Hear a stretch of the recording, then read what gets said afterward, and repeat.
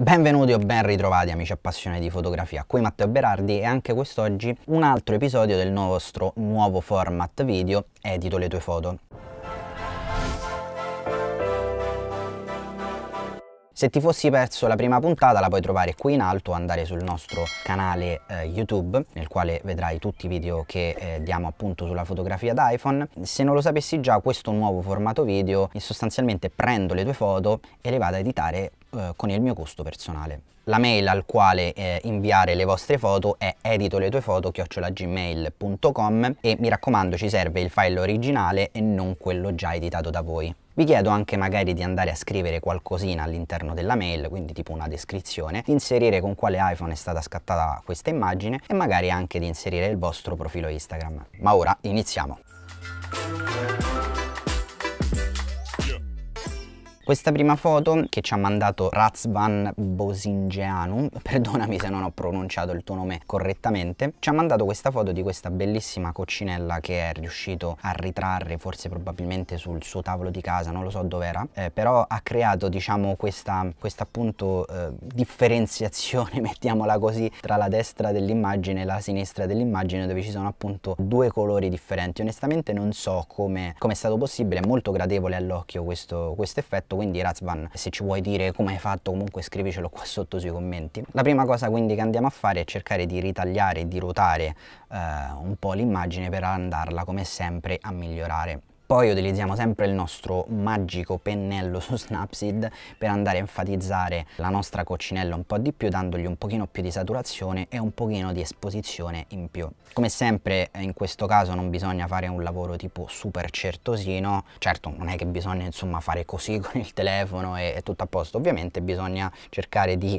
assecondare i contorni di ciò che vogliamo enfatizzare non andando troppo oltre il contorno ma neanche troppo all'interno all'interno del nostro contorno, cercare di fare un lavoro fatto come si deve, ma non è che deve essere super preciso, insomma. Comunque in ogni caso meglio rimanere dentro il contorno che fuori il contorno. Quindi poi fatto questa operazione già la foto è notevolmente migliorata e andiamo quindi ad eh, importarla su Lightroom per andarla quindi a modificare con uno dei nostri preset e per quindi dargli gli ultimi tocchi finali. Quindi come sempre apriamo la nostra cartella di preset, per questa foto eh, specifica non so di un preset che ci starebbe al 100% bene quindi bisogna un pochino andare a fare dei test e delle prove per vedere qual è il migliore. Alla fine scelgo questo qui, questo Doggy, che tra l'altro voglio farlo presente, questo è un preset che ho creato su una foto appunto di un cane, appunto l'ho chiamato Doggy questo, questo preset, però per farvi capire che ho creato questo preset su una tipologia di foto che tra l'altro era abbastanza diversa da questa qui, ma comunque si è adattata alla perfezione a questa foto stessa. Quindi come sempre i preset non sono qualcosa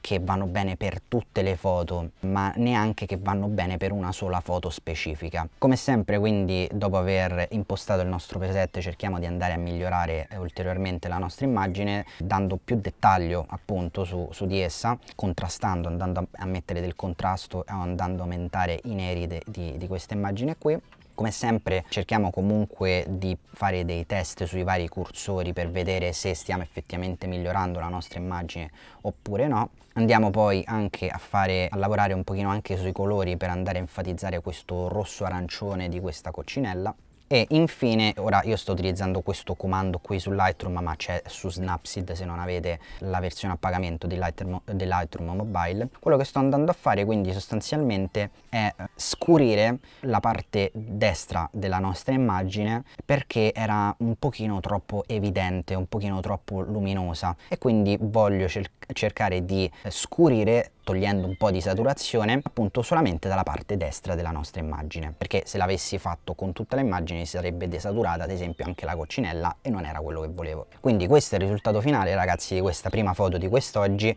Razvan veramente una bellissima un bellissimo scatto hai fatto. E io sono ho semplicemente l'ho semplicemente migliorato un pochino ma avevi già fatto un grandissimo lavoro tu complimenti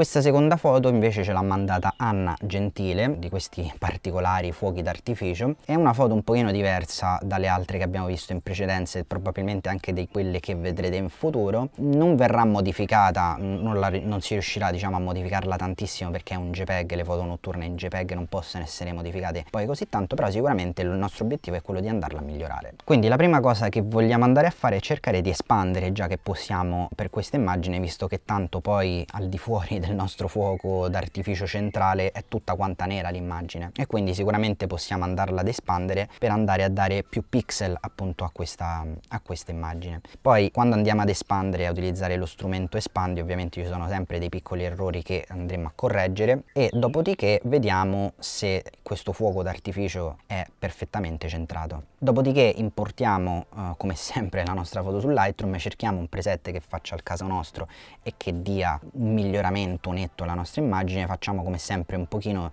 di test, ma sicuramente il migliore è questo Blue Shock che in realtà era stato ideato per totalmente un'altra foto, ma anche per questa foto va benissimo.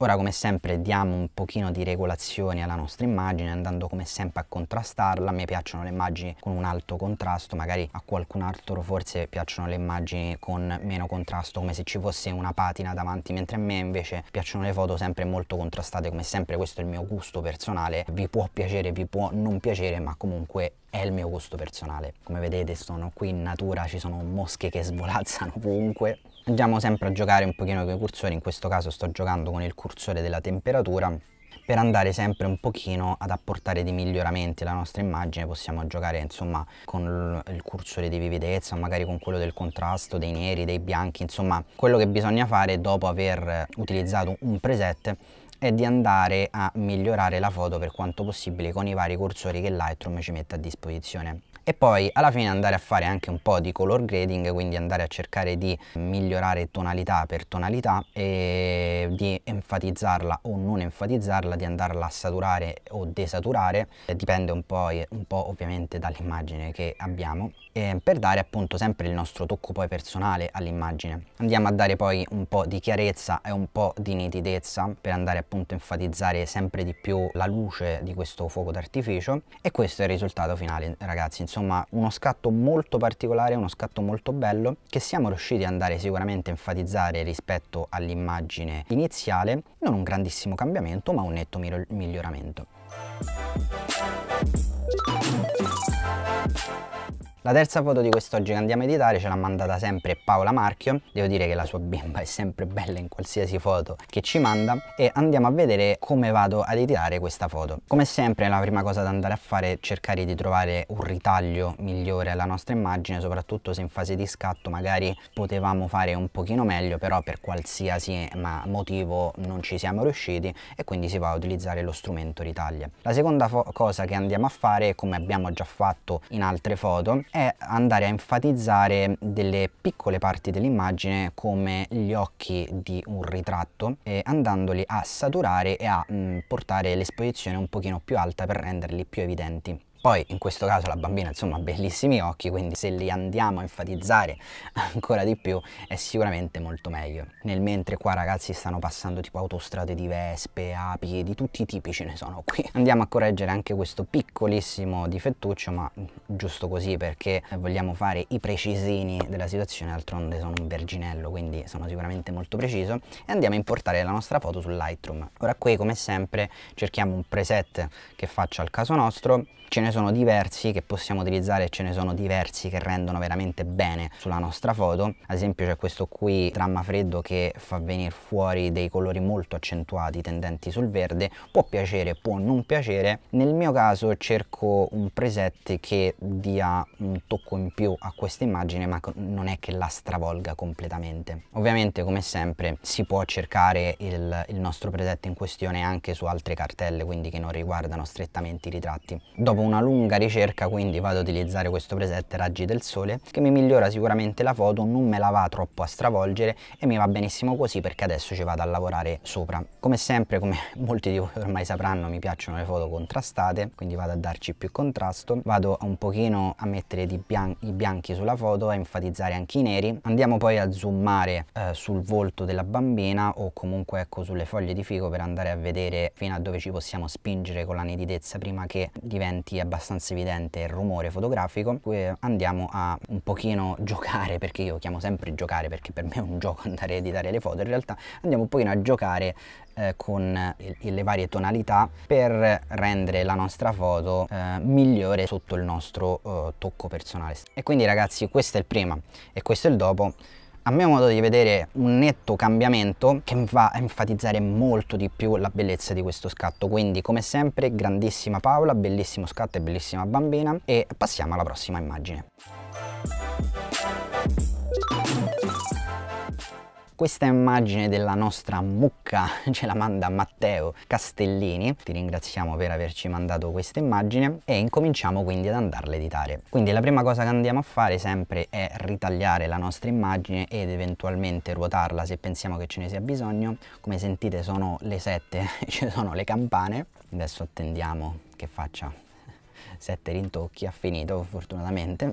A questo punto poi fatte diciamo le nostre modifiche, ritagliando la nostra immagine e ruotandola, importiamo come sempre su Lightroom, andiamo a trovare un preset che faccia al caso nostro. Anche qui non è che ce n'è uno che sia perfetto, che magari risponda perfettamente a, alle nostre esigenze, in questo caso ho utilizzato un preset interno luminoso che è, è stato creato in realtà per degli interni, però ovviamente la mucca magari stando all'interno di, di, di un posto, di un luogo dove stanno le mucche, non lo so dove stanno le mucche, di una stalla forse sì, forse il nome giusto è stalla, magari per una questione di colori, di luminosità e quant'altro ci stava bene anche questo preset. Come vedete a volte rimango stupito anch'io di quale preset va bene per l'immagine. Ora a questo punto selezionato il nostro preset andiamo a migliorare come sempre la nostra immagine cercando di lavorare sui contrasti, sulle ombre, sui bianchi e quant'altro, dopodiché andiamo anche a lavorare sui colori cercando di enfatizzare o di non enfatizzare determinati colori all'interno della nostra immagine e andiamo a lavorare anche un po' con la nitidezza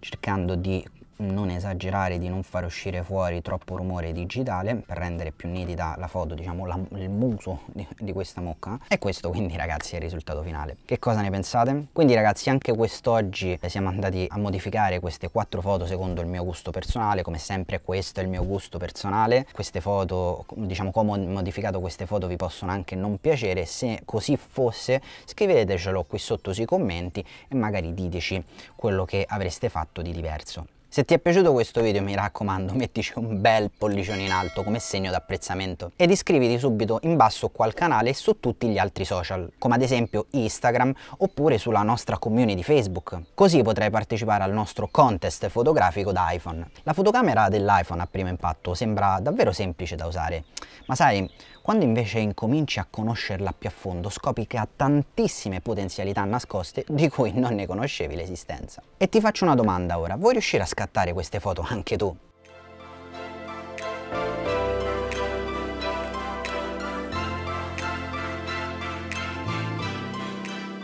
Se vuoi apprendere quindi tutti i segreti che si celano dietro le mie fotografie per iPhone, ti invito ad iscriverti al corso 100% gratuito da zero a fotografo iPhone, che abbiamo sviluppato proprio per farti compiere il primo passo per diventare un fotografo iPhone migliore. All'interno di questo corso di tre lezioni troverai tantissime informazioni utili che miglioreranno sensibilmente la tua fotografia. Quindi cosa aspetti? Iscriviti subito al corso gratuito, trovi il link qui in basso nella descrizione. Ci vediamo sul prossimo video e ricorda che la miglior macchina fotografica è quella che hai sempre con te.